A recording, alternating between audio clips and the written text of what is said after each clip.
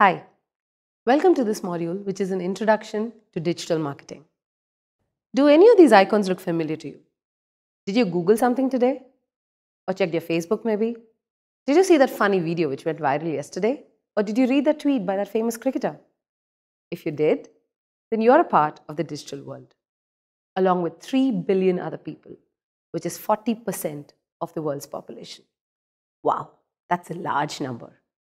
And wherever there are a huge number of people, there is huge marketing opportunity, which is what digital marketing is all about.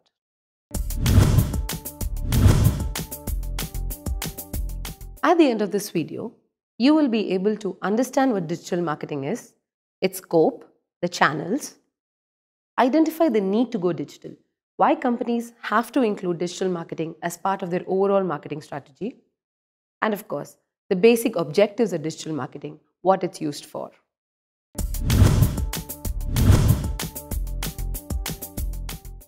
As I mentioned before, there are 3 billion people who are online today, which is close to 40% of the world's population.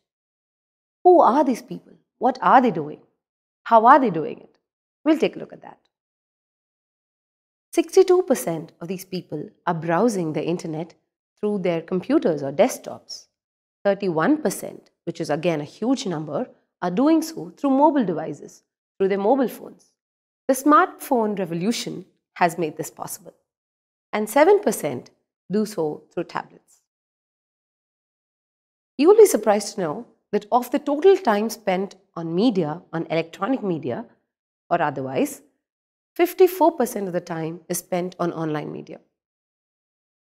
Of the 54% that people spend on online media, 28% is social marketing, which is in most cases Facebook. 13% is microblogging, which again is about Twitter. And the rest of the activities are a mix of updating blogs, reading news, watching TV online, and other activities. What does this translate? When people are spending so much time on a media, there is huge opportunity for you to reach out to them during that time. And this is a result. If you will see this graph, you will notice that budgets for paid search advertising and display advertising, both of which are fundamentals of digital marketing, have been increasing over the years. This year, it is estimated that there will be a spend of $126 billion. The increase in digital spend is almost three times the increase in the total ad expenditure for marketing. When we spoke about search advertising, where is this money being spent? This again is related to where is the time being spent. This graph shows you that the Google search engine has the largest chunk, followed by Baidu and Yahoo and Bing. When people invest on search advertising, they put up ads on the search network. I'll show you what I'm talking about. This is the Google search engine results page for a query office bags for women. You will notice that apart from the organic stuff that you see on the page, actually which is way down the page, the ads dominate the page. These are sponsored results and you will see a slightly yellowish orange tag indicating that they are ads. What happens if I have found a website that I want to go to and then I leave the search engine page? This is what happens. In this case, I was looking for sites about cakes and baking and I came to this website. But there's an opportunity for me to see an ad here as well. So there you go, houses for rent in Chennai. As you saw in a previous slide, 28% of your time is spent on social media, which in most cases is predominantly Facebook. But Facebook has space for ads too. In this example, you can see ads for furniture, for childwear, and for sunglasses. Email marketing is another important branch. Have you ever got emails about loans or construction of new houses or about eBay or Amazon, any new offers? If you have, you know what I'm talking about.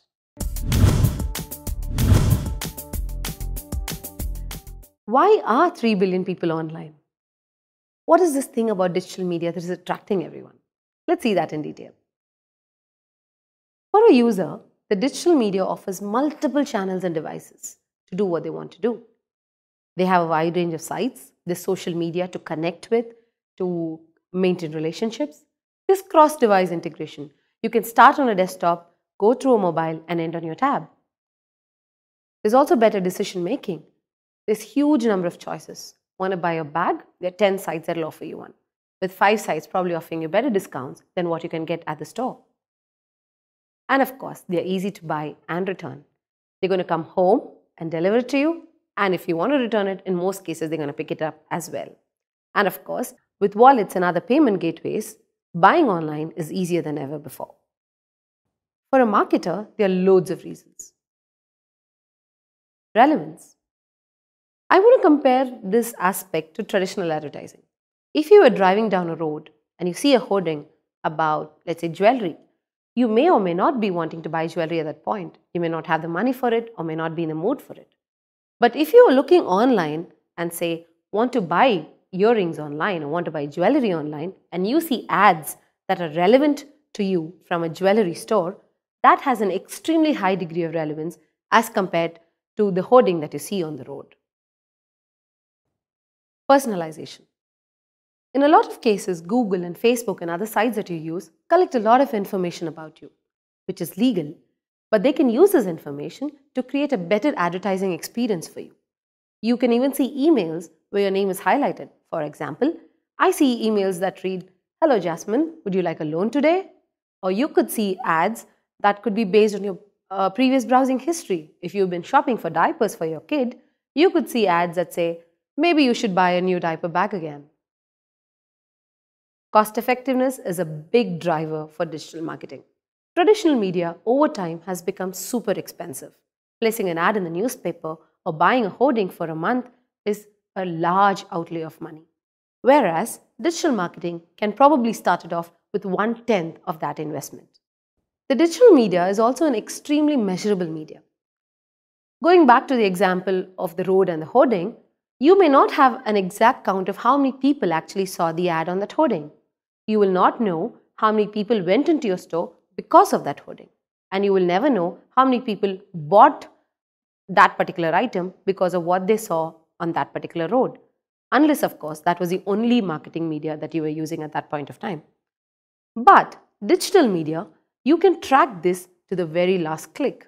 You will know how many people came to your site, from where they came, what they saw on your site, and what they bought, what was the value of that purchase, and when they come back again, you can track that as well. Digital campaigns are extremely scalable campaigns.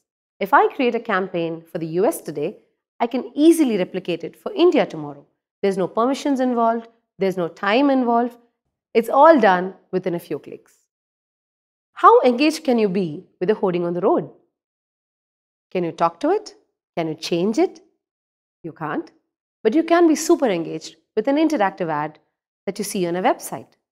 We will see examples later where you can actually make the ad work for you. You can make characters in the ads do different things by clicking your mouse around. That is engagement. What do I mean by a level playing field? If I were a small little business, obviously I will not have the monies involved to compete with a large player, a national player. But you can do so in digital marketing. You can actually decide where your ads will show, to how many people they will show, and if your ads are of high quality, you might actually end up paying lesser than the bigger players in your market. And of course, there is the ability to go viral. How many of your friends ever passed down a paper cutting to you and said, Wow, look at this ad? Not likely but a lot of them must have shared a wonderful ad on their Facebook profiles. And that multiplies. That is free advertising. Let's look at the objectives of digital marketing. Driving sales and leads. This is direct response marketing where your campaigns will get people to buy something from your website. In some cases, they may not want to buy something, but probably convert to a lead where they will sign up for a, a quote or sign up for a subscription. If you're a small brand that nobody knows about, or if you're a huge brand but introducing a new product, a new addition to your product line, and you want to increase brand awareness, digital marketing is the answer. For businesses that are not really selling a product and don't need sales or leads or not advertising a product, but just want people to come to their site, could be a news site, could be a blog about cooking, could be something about the environment that you want to talk about, Basically, you're driving people to your site, and this can be done through digital marketing.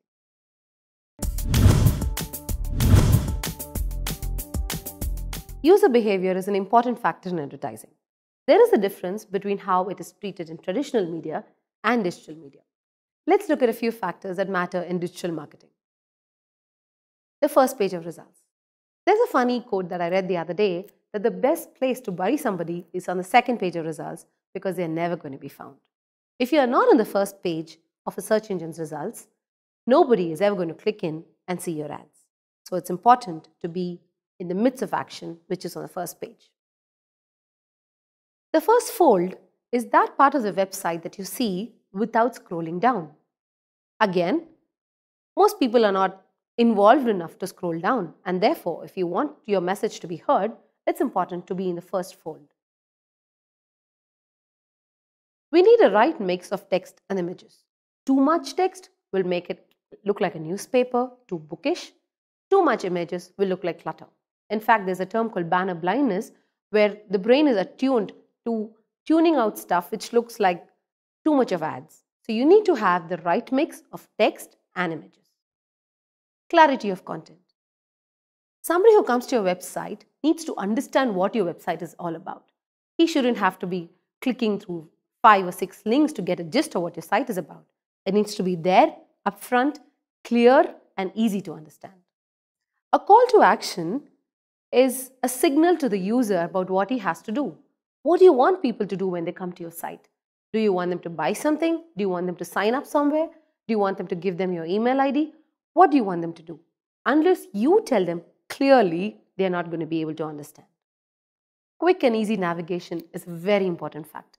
Have you ever been to websites where you try hitting the back button and you come back out of the site? If you have, that's terrible, isn't it? A user needs to understand how he can move from one page on the site to another. A prominent back button, a home button, all this will help. Security. Security is a major concern because there's lots of commercial transactions happening on the web.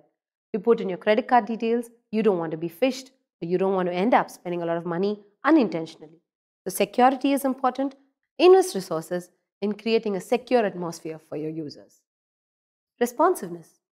In this world of social media, where people expect you to talk back to them, brands have a very important responsibility of responding back to the user. If somebody posts on a brand's page that I didn't get this product or it was bad, it becomes important for the brand to respond back and say, We're sorry, we will look into it. If you don't, that leaves a very bitter taste in the user's mouth. So watch out for responsiveness.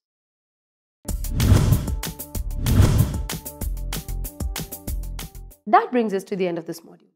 Let's take a look at what we learned. We learned that exponential growth on the digital highway or the digital world is a huge opportunity for marketers.